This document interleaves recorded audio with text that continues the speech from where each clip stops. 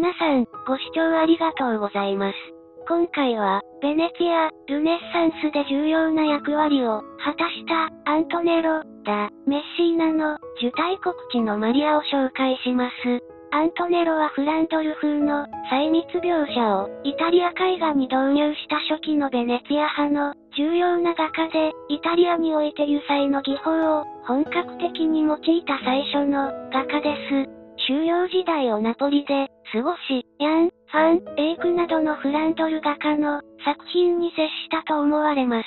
今回の受胎告知のマリアは、大天使ガブリエルよりマリアが、神の子を身ごもったことを告知される場面を表現する伝統的な画題で、様々な画家が作品を残しています。通常はマリアと大天使ガブリエルの二人を左右に配した構図を取るのですが、アントネロはマリアのみで表現し、大天使の姿はなく、大天使の位置に立つのは我々鑑賞者が、大天使ガブリエルという構図設定になっています。